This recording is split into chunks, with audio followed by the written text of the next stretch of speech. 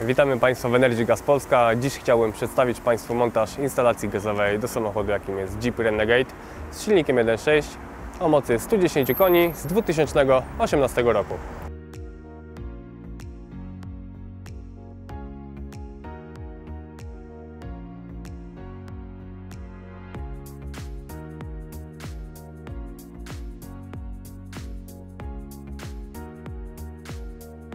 Założyliśmy tutaj instalację BRC Sequent 32 z podłączeniem do OBD. Koszt takiej instalacji wynosi 2900 zł. Zapraszam do obejrzenia poszczególnych części instalacji gazowej. Tak jak widzimy, na pierwszy rzut oka rzuca się reduktor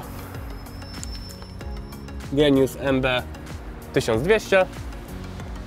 Później mamy filtr fazy ciekłej wraz z elektrozaworem Filtr fazy lotnej znajduje się tutaj.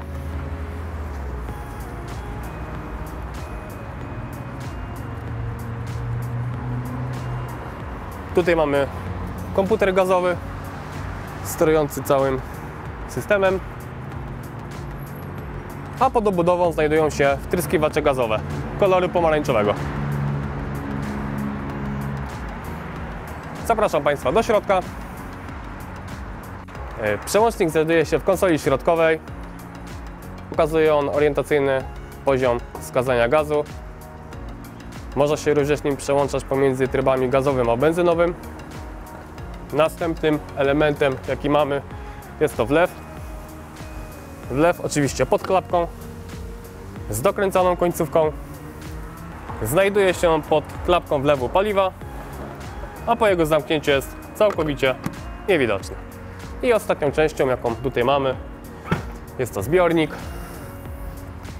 Zbiornik w miejsce teoretycznie zestawu naprawczego, wokoło tutaj nie ma. Chciałbym tylko nadmienić, że jeśli chodzi o wnękę, jest ona płytka, także każdy zbiornik niestety będzie nam unosił podłogę.